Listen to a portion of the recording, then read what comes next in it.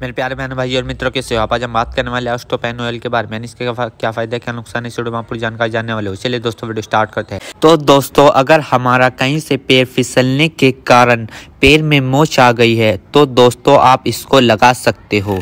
या फिर आपका पुराने से पुराना कमर का दर्द हो तो आप इसको लगा सकते हो। या फिर आपके घुटनों में दर्द हो, एडी में दर्द हो पैर की उंगलियों या अंगूठे में दर्द हो या फिर कोहनी में दर्द हो, हाथ में या हाथ की उंगलियों या अंगूठों में दर्द हो, पैरों की संतल में दर्द हो तो दोस्तों, यह आप उस जगह पर लगा सकते हो या आपकी हड्डियाँ कमज़ोर हो गई हो तो दोस्तों आप लगा सकते हो।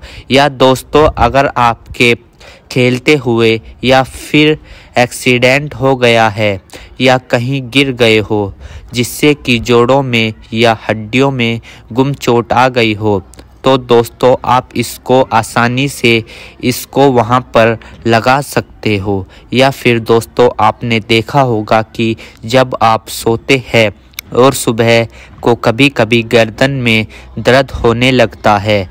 गर्दन एक तरफ़ से दूसरी तरफ़ मुड़ती नहीं, जिसको हम हिंदी में चनकवा और इंग्लिश में लेबगो बोलते हैं। तो दोस्तों, आप इसको आसानी से यूज़ कर सकते हो उस जगह पर। तो दोस्तों, अब हम बात कर लेते हैं कि इसको हमें कहाँ कहाँ नहीं लगानी चाहिए।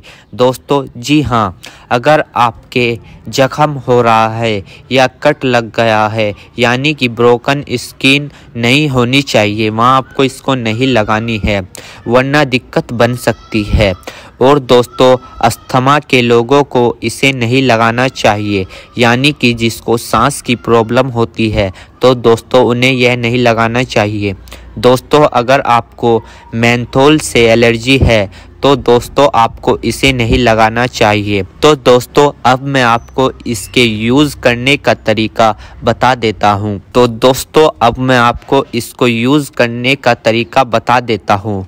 दोस्तों, आपको इसे 10 मिनट तक प्रॉब्लम वाली जगह पर लगाना है और फिर लगाकर नहीं छोड़ना है। ऐसा नहीं करना है कि इसको लगाकर छोड़ दे, बल्कि इसका 10 मिनट तक आराम आराम से मलना है। जिस जगह पर आपको प्रॉब्लम हो रही है, जिससे कि यह अंदर तक पहुँच सके और एब्जॉर्ब कर सके।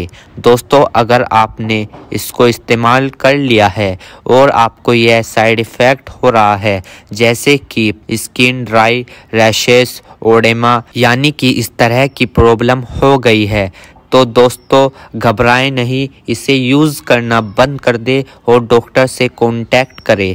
उम्मीद करता हूँ दोस्तों, अब आप समझ गए होंगे। तो दोस्तों, इतिहास ऑयल की इन्फॉर्मेशन फुल जानकारी। दोस्तों, अगर आप मेरे चैनल पर नए तो चैनल को सब्सक्राइब करें और इस वीडियो को ज़्यादा से ज़्यादा शेयर करें। थैंक यू धन्यवाद।